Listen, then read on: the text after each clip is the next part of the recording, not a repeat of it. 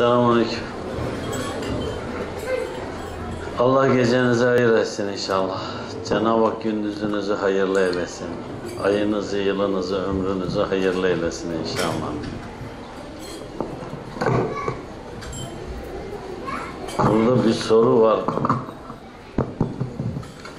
Buraya yazıldığına göre okuyayım. Dergahtan önce de tanışmış olduğum şehir dışından bir kız ile evlenmeye karar verdik. Durumu babama anlattığımda abinle konuş, o da onay verirse kızı isteriz dedi. Fakat abim ile kız 15-16 yaşlarındayken birkaç ay telefondan görüşmüşler. Abim de bu yüzden olumlu bakmıyor. Yine de evlenirseniz evinize girip çıkmam, evlendiğin kızla da dışarıda dahi görüşmem. Sonuçta bir geçmişimiz var onunla diyor. Abim şu an evli, siz ne tavsiye edersiniz? Halit ben ne tavsiye ederim sence? Peygamber sallallahu aleyhi ve sellem Hazretleri'nin gözünden bakarsanız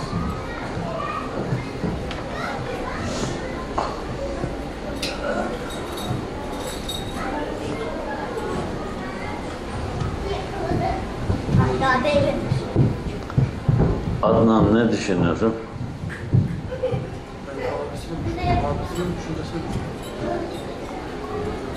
Hüseyin. Evet. Allah iyi etsin inşallah. Normalde evlenilmesinde dini olarak nikahlanmasında bir sakınca yok. İslam hukuk açısından. Bir kimse normalde böyle bir noktada İslam hukuk açısından onu nikahlayabilir mi? Evet. Ama bu ileride sıkıntı olur mu? Evet. Problem haline gelir mi? Evet. Biz Kur'an sünnet dairesinden bakarız. Bir adamın bununla nikahlanmasında bir beis var mı? Yok. Ama problem yaşar mı bu kimseler? Evet. Allah muhafaza eylesin. Beklenti içinde olan biri bunu nasıl bırakabilir? Beklenti büyük bir hastalıktır. Yani o böyle insanların içerisinde öyle bir rahatsızlıktır ki bu. Bu o kimseyi olgunlaştırmada önüne çok engeldir. Bu yani peygamberi metotta sallallahu aleyhi ve sellem hazretlerinde çok keskin e, bu noktada şeyler var, ölçüler var. Mesela hiç kimseden hiçbir şey istemeyeceğine bana söz ver, ben de sana cenneti söz vereyim. Veyahut da işte hiç kimseden hiçbir şey isteme bineğinin üzerindeyken e, yere kırbacın düşse dahi. Hazreti Ebu Bekir Efendimiz'e. Birincisi Ebu Zer Gifari'ye. Yani bir kimsenin normalde etrafında hiçbir etrafından hiçbir şey beklememesi, etrafından hiçbir şey istememesi bu böyle şey yani insanı e, gerçekten zirveye taşıyan bir şeydir. Bu şahıs olsun, cemaat olsun, bir topluluk olsun onu zirveye taşır. Bir şahıssa şahısı zirveye taşır. Bu bir topluluksa topluluğu zirveye taşır. Bakın bir topluluksa topluluğu zirveye taşır. Yani işte etraftaki bütün herkes bilir ki o topluluk hiçbir şey istemez hiçbir şeyden. Veyahut da herkes seni bilir. Sen hiçbir şey istemezsin. Yani bu böyle veyahut da işte bu hiçbir şey istemezsin dedi beklemez. Beklentisi olmaz. Bir şey istemez. Şunu yapsınlar diye bakmaz. Bu insanı zirveye taşır. Bunu zaten halleden bir kimse bunu hem ailesinde hem dergahta hem işinde hem aşında her yerde bunu halleden bir kimse gerçekten Allah'a çok yakın olur. Gerçekten zirve bir şey bu. Allah cümlemizi onlardan eylesin. Bir e, dergah için, bir tasavvuf topluluğu içinde veya bir cemaat içinde zirve bir şey. Hiçbir şey istememek ve beklememek. Allah bizi onlardan eylesin inşallah. Kişi empati duygusunu nasıl geliştirebilir? Empati bu kendini karşındaki kimsenin yerine koymak. Öyle değil mi? Evet. Empati yapmak bu değil mi? Kendini onun yerine koyuyorsun. Harika. Bu hadiste sabit ya. Kendine yapılmayan, yapılmasını istemediğin bir şey bir başkasına yapma. Kötülük manada, yanlışlık manasında, eksiklik manasında. O zaman bunu hadis-i şerifte bu karşılığı sen kendisine kendine bir şey yapılmasını istemiyorsun, karşıdakine de yapma. Bakın bunları böyle e, hani parantez içerisinde, tırnak içerisinde ya e, işte ben kendime bir şey yapılmasını istemiyorum, onu da yapmıyorum. Ama buradaki o kimse kendisine bir şey yapılmasını yapılmasını istemeyen kimsenin ahlakı ne derecede, ilmi ne derecede, hikmeti doğruluğu ne derecede, neyi ne kadar doğru yaptığı bu giriyor devreye. Bizde bazı ölçüler var. Mesela bunu söylüyoruz biz. Bunu söylediğimizde aslında bu güzel bir şey ama sen neredesin? Bunu uygulayacak olan kimse nerede? Yani karşısındakini yapmasını istemediğin şey kendine yapılmasını istemediğini başkasında yapma. E mesela o kimse kendisine içki sunulsa e, yapılmasını istemediği bir şey değil. O zaman bir başkasına da içki mi sunacak o?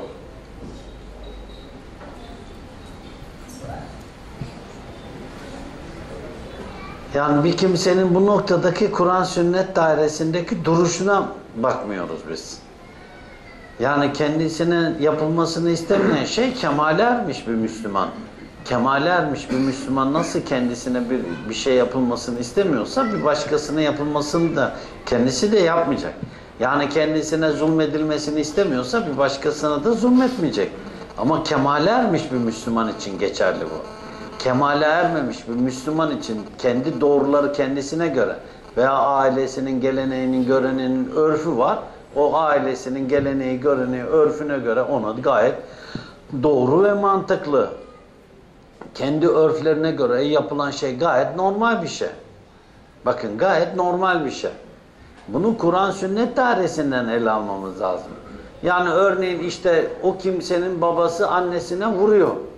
Bu gayet doğru ve mantıklı bir şey. Kadın dövülür diyor. E o da vuruyor. Kendisi de vuruyor. Onun kendine göre normalde yapmış olduğu şey doğru ve mantıklı. E kendisine yapılmasını istemediğin şeyi başkasına da yapma. E o normalde kendi kız kardeşi için de dövülebilir bir mahluk onun için. Yani e, onun eniştesi de kız kardeşini dövdüğünde neden dövdün demiyor ona. Kadın dövülebilir. Oradaki doğru mantık onların kendilerince doğrusu bu. O zaman o dediğimiz empati kurma e, yetmedi buna. Bu normalde buna baktığımızda biz işte en güzel ölçü Kur'an sünnet ölçüsü. Kelimelerin arkasına baktığımızda harika bir şey. Empati kurmak, kendini onun yerine koymak. Ama bu eğer o kimsede Kur'an sünnet ahlakı yoksa, Kur'an sünnet duygusu yoksa bu herhalde tam yerli yerine oturacak bir şey değil. Allah muhafaza eylesin. Bir insan eski ya da yeni arkadaşlarıyla neden arkadaşlıklarını aktif olarak sürdüremezler? Bunlar böyle geçimsiz, cimri insanlar vardır. Bunlar ne yeni ne eski arkadaşlıklarını sürdüremezler. Arkadaşlık sürdüremeyen kimseler paylaşımsız, egoist, bencil, cimri, ondan sonra her şeyi ben biliyorum diyen kibirli takımı arkadaşlıklarını sürdüremez. Bu normalde dervişlerin arasında da var mıdır? Evet. Sert tabiatlı, böyle tebessümü olmayan, etrafa devamlı sert konuşan, etrafa devamlı tepeden bakan, bir türlü onlar iletişim kuramazlar. Yani hele onlara böyle hasbel kader birisi sen bu işi burada yap derler derse ortalığı kırıp geçirirler. O yüzden vazifeli arkadaşlar, zakir arkadaşlar vazife verirken bunlara dikkat edecekler. Bir yerden bir yere birileri gidiyor, bir yerler bir yerden bir yere bir yerlere giderken oraya bir vazifeli tayin ediliyor. O vazifelileri tayin eden arkadaşlar inceleyip sık dokuyacaklar. Böyle etrafına tahakküm kesen, böyle baş kesen, ondan sonra saç koparan, kol koparan, ne bileyim böyle işte astım astık kestim kestik. Disiplin böyle sağlanmaz. Disiplin sevgiyle sağlanır. Hizmetle sağlanır. O kimse öylesine muhabbet besler, öylesine sevgiyle hareket eder, öylesine arkadaşçasına hareket eder ki etrafına toplar herkesi, kurt tavuk gibi. Ben bazen böyle hart hurt yapana derim ki hiç sen bir civciv besledin mi? Sen bir kafeste kuş besledin mi derim. Senin hiç bir çift tavuğun oldu mu? Bir çiçek yetiştirdin mi? Bir çiçek. Neden? Ya bir çiçeğin ne kadar zor yetiştiğini gör bir. Bir civcivin ne kadar zor yetiştiğini gör bir. Bir hayvan besle, bir hayvan beslemenin zorluğunu gör. Hayvan beslerken dahi. E sen hayatında bir çiçek büyütmemişsin, bir civciv bakmamışsın, bir kedi bakmamışsın, bir kuş beslememişsin. E sende çocuk da yok, evlat da yok. E sen etrafı kırıp döküyorsun kardeş.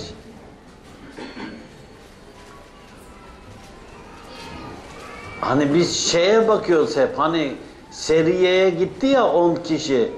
Bir tanesi dedi ya işte odun toplayın topladılar yakın yaktılar sert bir şekilde anlaşmazlık çıktı. At kendini atın kendinizi ateşe emrediyorum dedi. Biz ateşe atın emrediyorum sözünde bakıyoruz. Orada o seriyeye çıkan komutanın zulmü var. Haksızlığı var. Kendisine verilmiş olan selahiyeti kötü noktada kullanması var.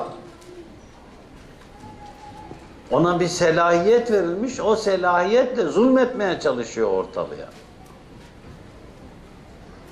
Allah muhafaza eylesin.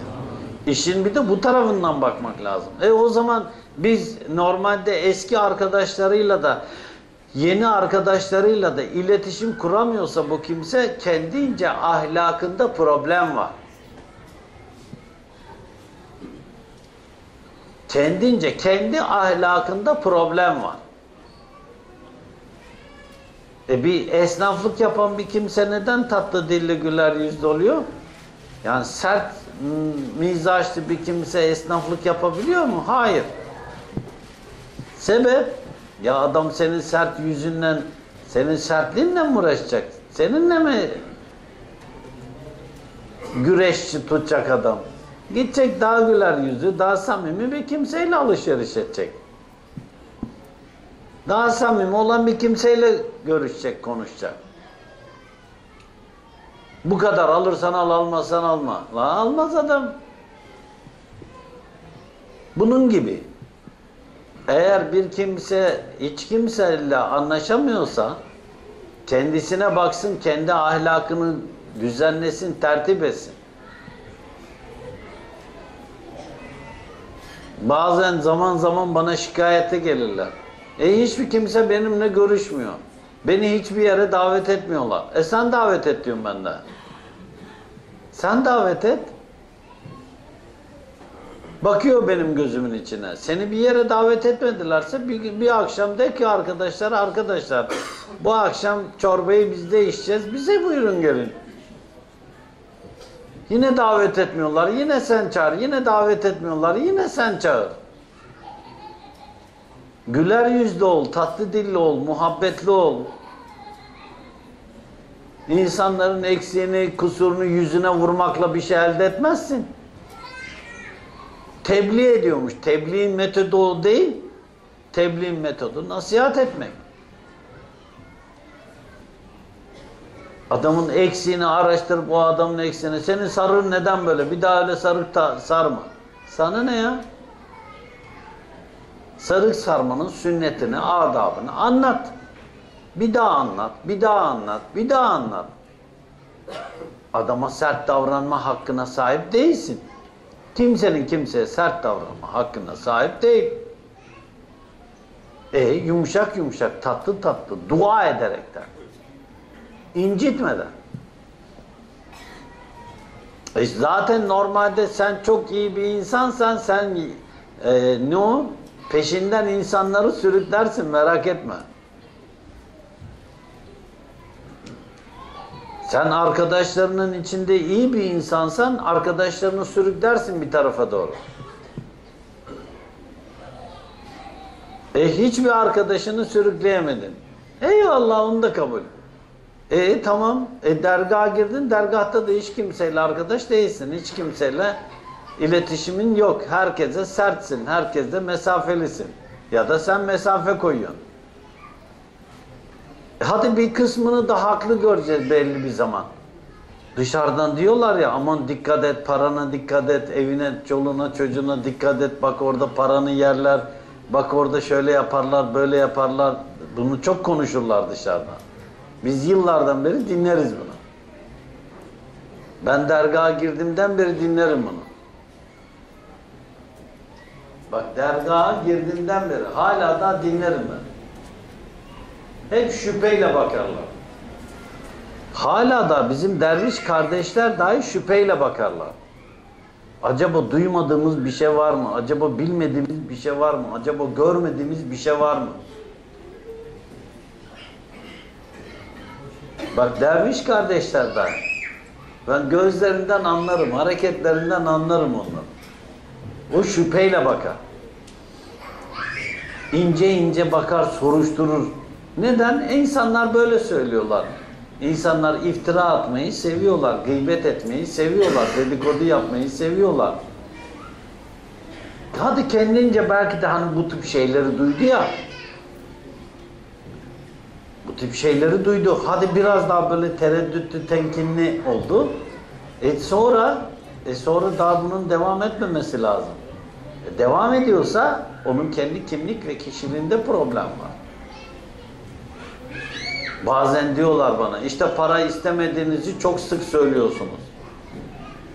E siz söylüyorsunuz para toplanıyor mu diye.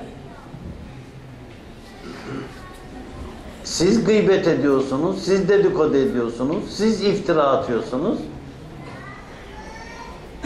Dervişler için söylemiyorum bunu. Bunu dışarıdaki insanlar için söylüyorum. E siz yapıyorsunuz. Sizi iftiradan, dedikodudan, gıybetten kurtarmaya çalışıyoruz. Siz, sizi suizandan kurtarmaya çalışıyoruz. Mahşer yerinde nasıl hesap vereceğiniz onu düşünmüyorsunuz.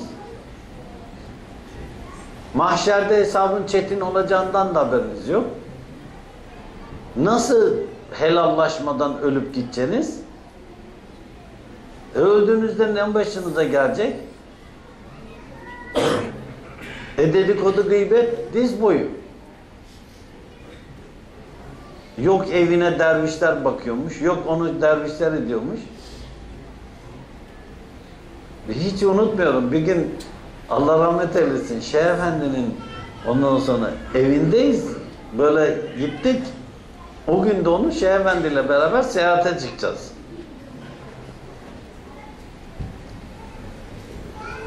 Yolcuyuz yani o gün. O esnada bir yerden üç araba birden geldiler. Şeyh Efendi de onlara seyahate çıkacağını, ondan sonra Sivas'a gideceğini, ondan sonra Nevşehir'de hani bulunmayacağını söylemiş onlara. E böyle enteresan derviş tipleri de var. Çok seviyorlar ya. Çok sevdiklerinden söz dinlemiyorlar. Öyle seviyorlar, öyle seviyorlar böyle. Bu her her yerde vardır böyle tipler. Çok sevdiklerinden dolayı söz dinlemiyorlar. Tam çıkacağız. Ben valizlerini aldım, götürdüm, arabaya koydum. Tekrar içeri girdim. İçeri girdiğimde bir şey oldu. Arabalar ardı ardına sıralandı. Arabalar ardı ardına sıralandı. Bunlar geldi. En önde de en çok seven. Ondan sonra böyle girdi içeri. Ondan sonra eyvah dedim ben. İçimden öyle bir girdi ki çok seviyor ya. Ya bir şeyh de olsa onun evine giriyorsun. Mahremi. Sakin ol. Sakin ol. İzin iste. Müsaadeli gir. Evi. Evi evi. Kapı açık dahi olsa seslen.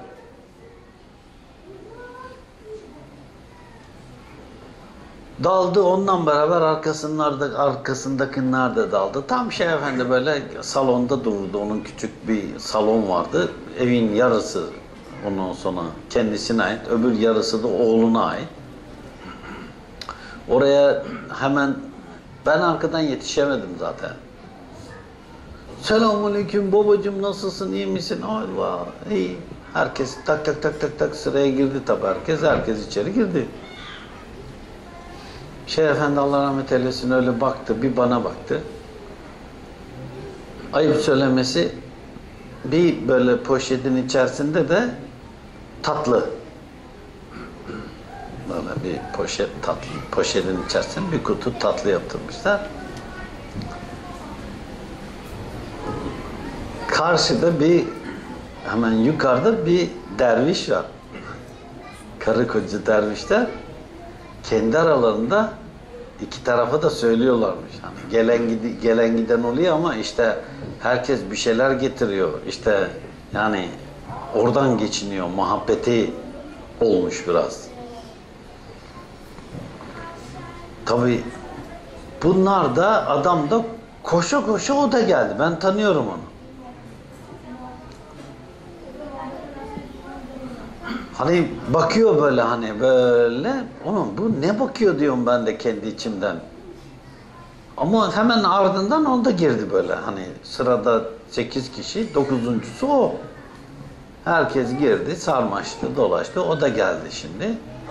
Onlar da tatlıyı aldılar böyle göstere göstere. Efendi baba nereye koyalım bunu?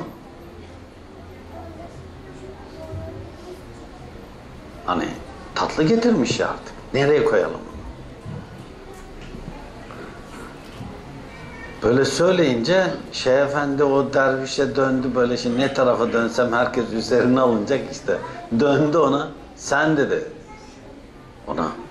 Şu tatlıyı al, şu misafirleri de al. Götür eve dedi. Ondan sonra hepsini ağırla. Ondan sonra gönder dedi. Yatacaklarsa yatsınlar dedi.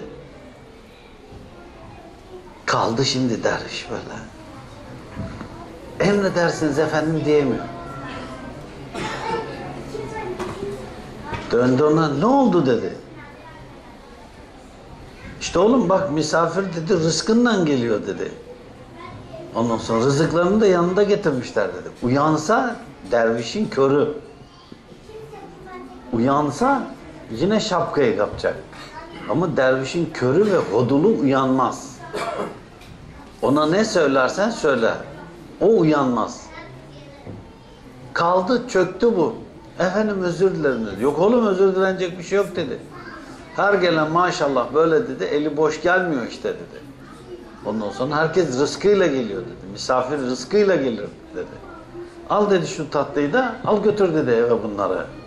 Ondan sonra kaldı. Anlaşıldı ki mesele farklı. Mustafa Efendi oğlum dedi "hmm, bir iki saat kalalım olmazsa dedi. Ondan sonra efendim hakkınızı helal edin dedim. Yani istediğiniz kadar kalalım ama dedim Kayseri'ye haber verdik. Onlar bekliyorlar dedim. Saat verdik onlara. Saat verdin mi dedi. Saat verdik dedim ben. Durdu. İşte o böyle çok seven attı gene kendini. İşte efendim arkadaşlar getirdik şuydu buydu. Ona döndü. Oğlum ben sana demedim mi dedi. Mustafa Efendi gelecek. Ondan beraber Sivas'a gideceğiz. Kayseri'ye gideceğiz. Oradan Tokat'a geçeceğiz. Tokat'tan Ankara'ya geçeceğiz. Söylemedim mi ben sana dedi. Durdu. Ne yapma milleti dedi getirdim bak ben sana söylediğim halde dedi. Ses yok. Oğlum laf dinleyin dedi. Laf dinleyin dedi. Gene ses yok. Ne yapayım şimdi dedi. Ben sizi burada kime bırakayım dedi. Evde dedi bir gelin var dedi. Torunlar var dedi. Bir de hacı annen var dedi. Sizi burada mı bırakayım şimdi ben dedi. Ne yapayım ben dedi. O hala da hani şey efendi kalsın. Özel onları ağırlasın. Ondan sonra özel onlarla ilgilensin de bakıyor. Allah muhafaza eylesin. Şimdi bir kimse mevzu e, şeyden eski ve yeni arkadaşlarla e, iletişimden çıktı. Nerelere geldi? Bir kimse nerede nasıl davranacağını bilirse o yüzden bunda bir sıkıntı yok. Bayanların tarafında çok az ses gidiyormuş. Mikrofondan mı? Kabahat benden yani. Tamam. Bir kimse nerede nasıl davranacağını, ne şekilde davranacağını o kimse kendince bilmeli. Ve böylece arkadaşlarının arasında adap erkan ölçüyü bilir kullanırsa bir sıkıntı olmaz. Eski ve yeni arkadaşlarıyla arkadaşlığını aktif bir şekilde götürür. Bir insan kendi eksik ve noksanlıklarını neden göremez? Bu bir bilgisizliğindendir. Bütün cehaletin sebebi bilgisizliktir. Bir kimse kendi bildiğini doğru görür, kendi bildiğini doğru görür. O bildiğini bir şeyle kıyaslamazsa buna çek etmek mi diyorlar? Öyle mi diyorlar? Kıyaslamaya. Çek etmek. Bunu onunla çek etmezse, kıyaslamazsa kendi bildiğini hep doğru görecektir. Bir, bir kimse için kendisini kıyaslayacağı yer Kur'an ve sünnettir. İslam'da haramlar belli, helallar belli. Biz haramları öğrenme noktasında değiliz. Eğer biz kendi nefsimizde haramları öğrenirsek ve onları yapmazsak bir sıkıntı olmayacak. O zaman biz kendi eksiğimizi, kusurumuzu göreceğiz. Ama biz haramları bilmezsek ve okumaya da gayret etmiyorsak o zaman bizim eksik ve kusurumuzu bilmemiz mümkün değil. Bir, o kimse e, yapabildiğince okumaya gayret edecek. İki, sohbetlere devam edecek ama sohbetleri dinleyip uygulayacak. Kitap okumuyor. Sohbetleri takip etmiyor. Takip ettiğinde uygulamıyor. O kimsenin eksik ve kusurlarını görmesi mümkün değil. Çünkü din bir günde hemen öğrenilmiyor. Din bir günde de zaten indirilmedi. Din 23 yılda tamamlandı. 23 yılda tamamlandı. Yani bir kimsenin de dergahta 23 yılı dolduğunda o kimsenin kemalata ermesi lazım.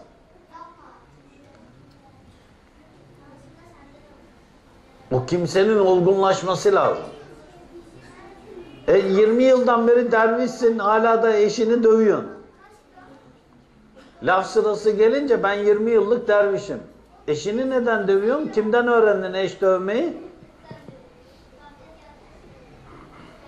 E 20 yıllık dervişsin. Çoluğuna çocuğuna küfrediyorsun evde.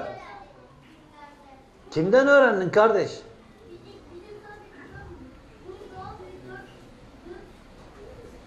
Kimden öğrendin?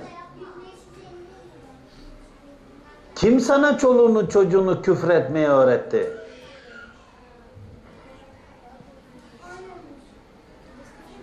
E sen 20 yıllık 25 yıllık dervişim diyorsan Abdullah Efendi öğretmedi Allah rahmet eylesin. E ben de benden de öğrenmemiş olması lazım. Biz de gidin eşinizi dövün, çoluğunuzu çocuğunuzu dövün, küfredin diyen hiç ağzından bir söz çıkmamıştır. Ya ben kendim yapmadım çünkü. E nereden bu öğretiyi aldın? Şeytandan. Kime bağlısın? Filanca şey efendiye. Yaptığın ne? Şeytani. Ne bağlılığı ya?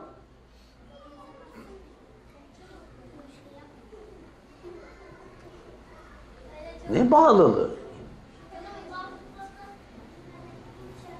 Benim şeyhime bağlıysan eşine hiç vurmadı. Aha oğlum hacı annen istediğin zaman git sor diyor. Hiç küfretmemiş. Evlendiğinden beri.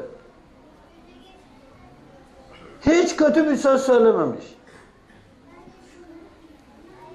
Ölçüye bakın ölçüye. Mustafa Efendi git sor oğlum hacı. Hiç dövmüşüm mü? Hiç küfretmişim mi oğlum? Git sor çocuklara sor oğlum. Onlara hiç küfretmişim mi? Daha bunu söylediğinde bekardım daha. Yeni derviştim.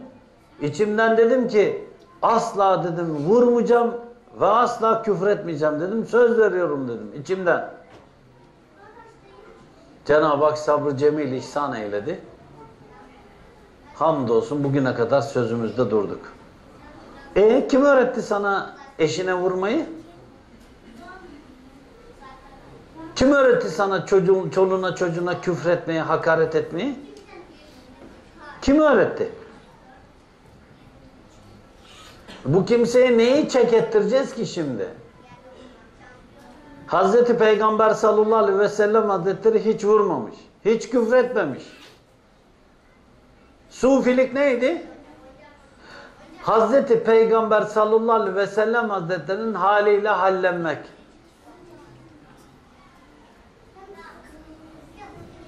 Onun haliyle hallenmek. Onun izine basmak. Onun nefesiyle nefeslenmek. Onun kokusuyla kokulanmak. E be kardeşim hiç vurmamış sen nasıl vuracaksın? Peygamber sallallahu aleyhi ve sellem hazretleri vurmamış. Senin bir önceki şeyhin Abdullah Efendi hazretleri vurmamış. E Mustafa Özbağ da vurmamış. Sen kimden öğrendin de vurdun bunu? E sen kimden öğrendin de küfrettin eve girer girmez herkese? Bir de bunu söyleyince ben böyle konuşunca bir de evlere gidip millet tamam mı? Sen şikayet mi ettin? Sen mi söyledin? Sen mi şikayet ettin? Sen mi söyledin? Bu iyice işin sıkıntısı. Haydi millet yazıyor bana. Efendim Allah rızası için olmazsa beyime sen söyle benim hiçbir şey söylemedi mi? Allah korusun ya. İnsan eksiğini kusurunu bir okuyarak öğrenecek. İki sufi insan. Gidecek sohbetlere sohbetlerdeki dinledikleriyle uygulayacak. E dinliyor uygulamıyor. Dinliyor uygulamıyor. Burada dinliyor bunda bir sıkıntı yok. Allah muhafaza eylesin. Kendimizi karşılaştıracak olduğumuz yer Hazreti Peygamber sallallahu aleyhi ve sellem hazretlerinin ahlakı. Onun için okuyalım. Ben kendimi bu noktada numune, kendimi bu noktada prototip olarak görmüyorum.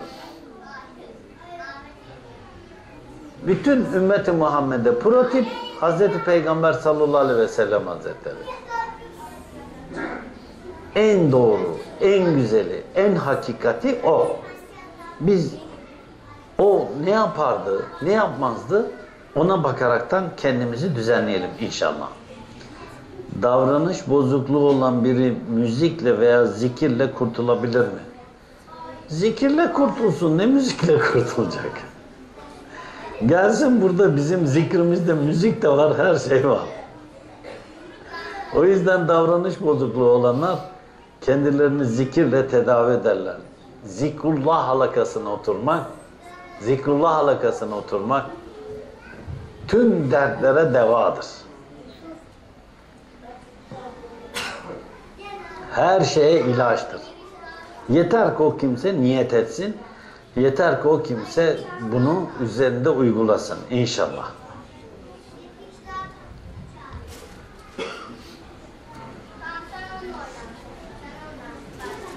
Ben bir hemşireyim. Çalışır iken üzerimde haram olan konular nelerdir? Bu konular kesin midir? Kimi insanlar kadının çalışmasını haram diyor. Kimi insanlar erkekle konuşmak haram diyor. Kimi insanlar erkek hastayla ilgilenmek haram diyor. Şu bir gerçek ki personelinden doktoruna, servisçisinden meslektaşıma hastalarına kadar erkekler sürekli çevremde oluyor. Örtünden pantolon ve üstünde uzun kollu penye şeklinde. Bu da haram deniliyor. Aldığımız para bile haram deniliyor. Bu konuya net bir açıklık getirir misiniz?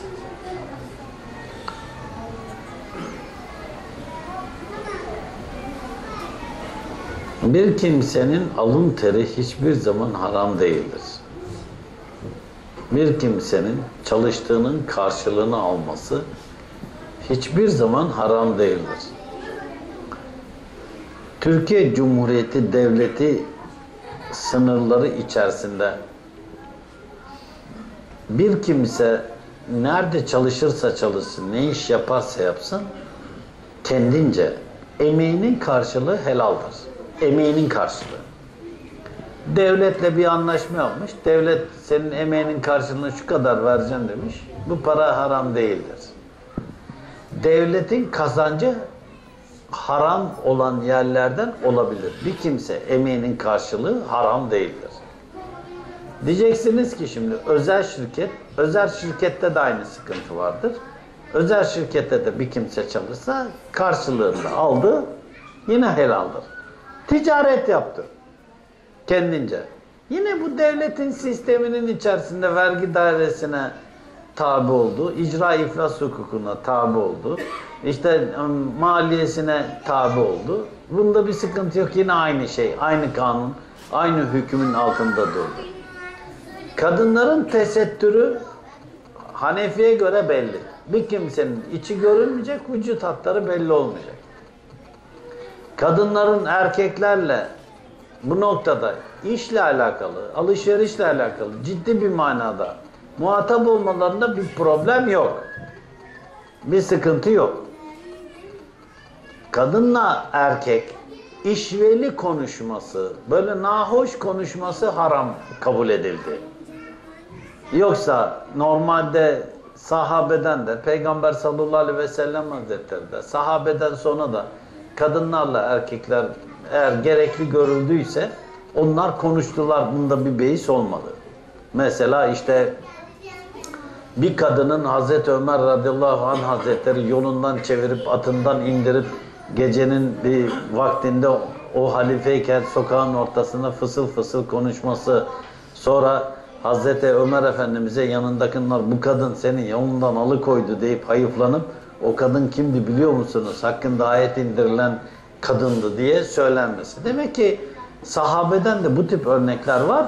Bir zaruret olduğunda, bir sıkıntı, bir durum olduğunda veyahut da gereği miktarınca konuşmanın bir sıkıntısı yok. Erkeklerin içerisinde çalışmak ise bir kimse kendinden emin ise toplumun neresinde erkek yok? Otobüste gidiyorsun erkek var, taksiye biniyorsun erkek var, alışverişe gidiyorsun erkek var, alışveriş merkezlerine gidiyorsunuz erkek var, erkeksiz bir toplum yok, kadınsız da bir toplum yok. Bunlar o yüzden herkes kendince böyle bir şeyler söylüyor, söylerken de sözünün nereye gideceğini bilmiyor. Kadının çalışması haram diye tutturuyorlar.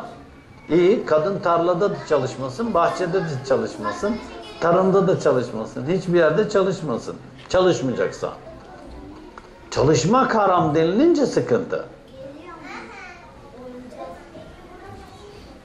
Yani normalde namaz kılmakta eşit, oruç tutmakta eşit, hacca gitmekte eşit, zikrullah yapmakta eşit, ilimde eşit, çalışmakta mı eşit değil? Evet bir erkek eğer mali durumu yerindeyse isterse eşini çalıştırmayabilir. Eyvallah.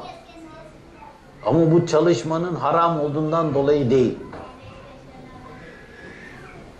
Bakın çalışmanın haram olduğundan dolayı de- değil. Bunu bir kimse normalde e, hakkında kesin Kur'an sünnetten ayet e, imamlardan bir iştahat olmadığı müddetçe kadınların çalışmasını haram demesi de sıkıntılı. Allah muhafaza eylesin. Kayınpederim üvey. Eşim bebekliğinden beri onunla büyümüş. Baba diyor. Benim kayınpedere yaklaşımım haramlık düzeyinde nasıl olmalıdır? Ayrıca eşimin babası üzerinde bu durumda bir hak hukuk var mıdır? Üvey olanı. Normalde e, eğer ki m, anne öldü veya boşandı, sonradan başka bir erkekle evlendi. Evlenince de işte o, o çocuk e, küçükken o erkeğin o erkek üvey babanın yanında yetişti ama o erkek evlendi. Evlenince de normalde kendi hanımı o adama normal kayınpederi gibi olmalı. Olmaz. Onun yanına tesettürlü girecek. Onun yanında başını açaraktan giremez.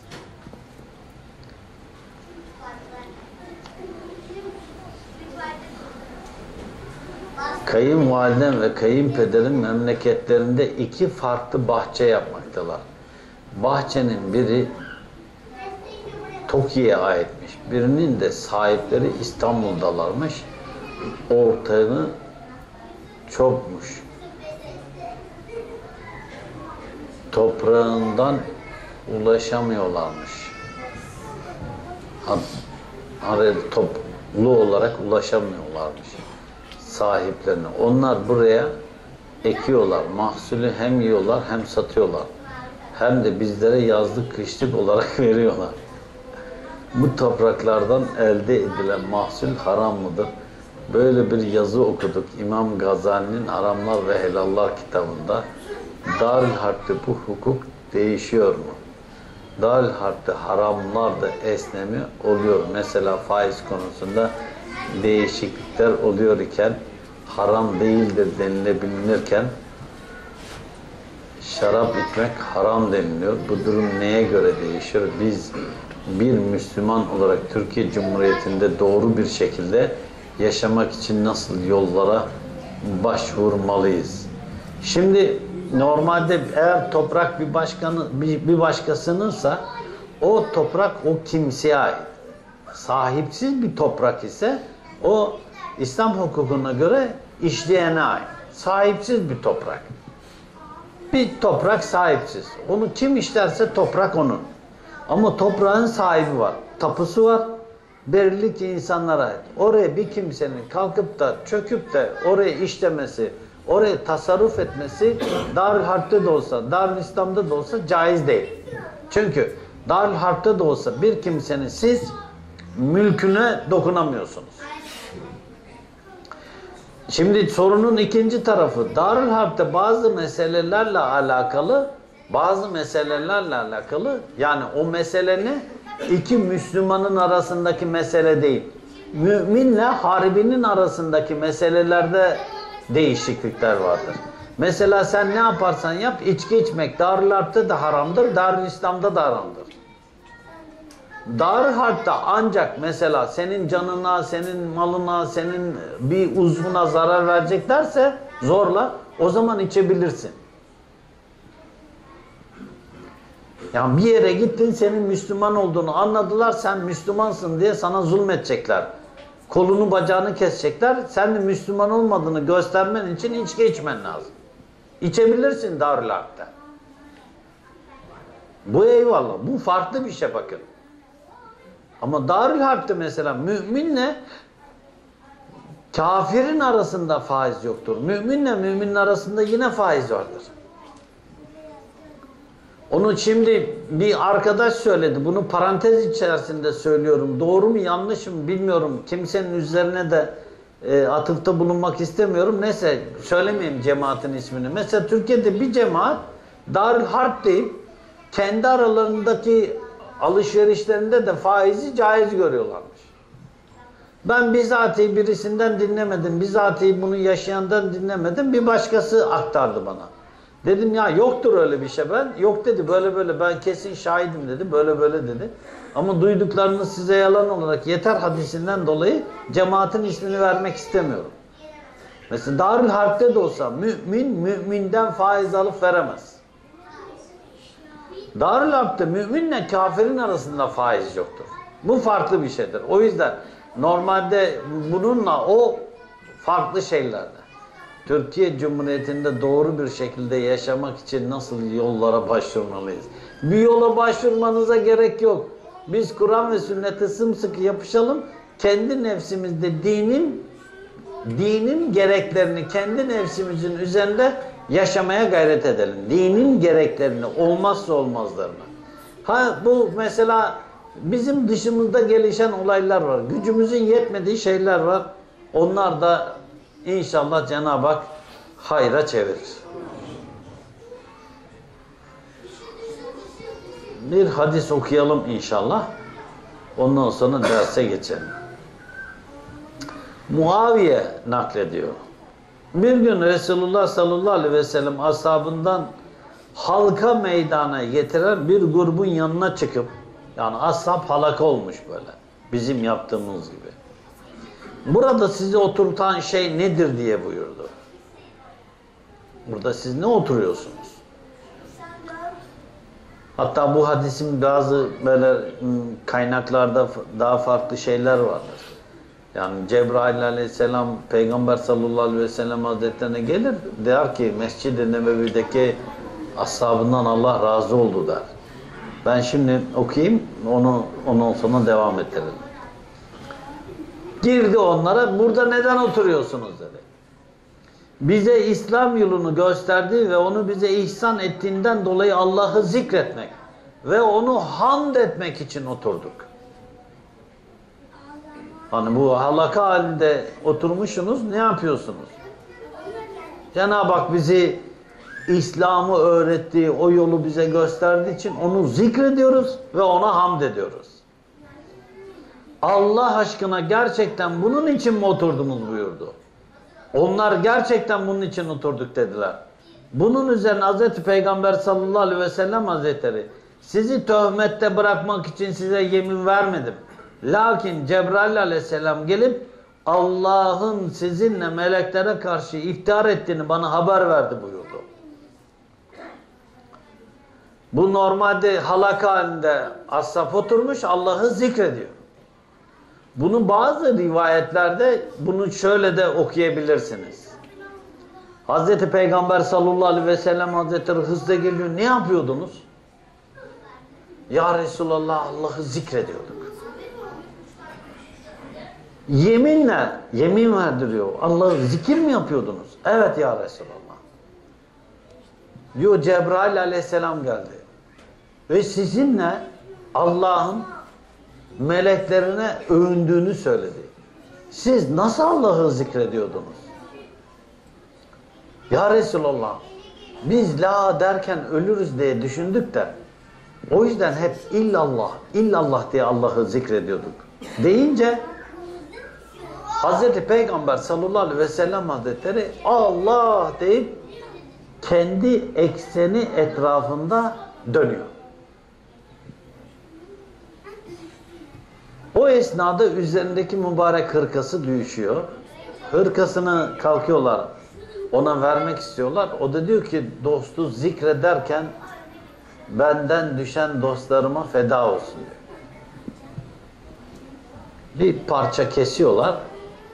Hazreti Ebu Bekir Efendimiz sarığının tam ortasına iliştiriyor. İki parçada kesiyorlar hem damat hem sahabe diye Hazreti Ali Efendimiz'i Hazreti Efendimiz de hırkasının hem sağına hem soluna haydari diye oradan geliyor bunlar. Bunu böyle de okuyabilirsiniz. Bunu tabi bazı hadis kritercileri bu tarafını e, işte zayıf olduğunu söylüyorlar burasının. Ama Sufiler bunun kendilerince kendilerince zayıf olmadığını, doğru olduğunu söylerler. Aslında e, eylem, fiiliyat olan hadise doğru, nakillerde şey var. Ne o? E, farklılık var. Ha, bugünlerde çok hadislerin üzerine laf söylüyorlar ya, biz de bunlar laf söylüyorlar diye dilimiz güdük çıkacak değil. Biz de bildiğimizi Allah'ın izniyle arkadaşlara, kardeşlere nakledeceğiz. O yüzden demek ki Hazreti Peygamber sallallahu aleyhi ve sellem hazretlerinin ashabı da halaka halinde oturup veya ayaktayken Allah'ı zikrediyorlarmış. Allah bizi devamlı kendisini zikreden kullarından eylesin. Amin. Falemennehu la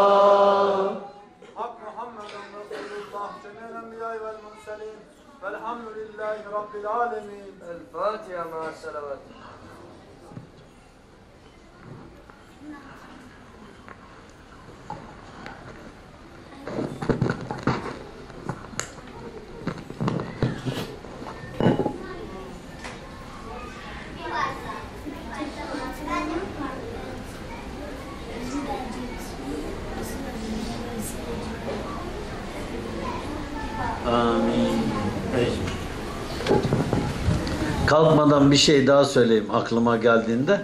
Hakkınızı helal edin. Arkadaşlar beni ziyaret etmek için benden randevu almanıza gerek yok. Bursa'da olduğum zamanlar işte genelde e, perşembe günleri Allah izin verirse Bursa'dayım. Kendimce burada olduğumda büronun kapısı da açıksa herkes dilediği zaman gelebilir. Bir tek istediğim şey şu. Kapı kapalıysa kapı kilitli. Bay bayan hiç önemli değil. Orada beklemenizi istemiyorum.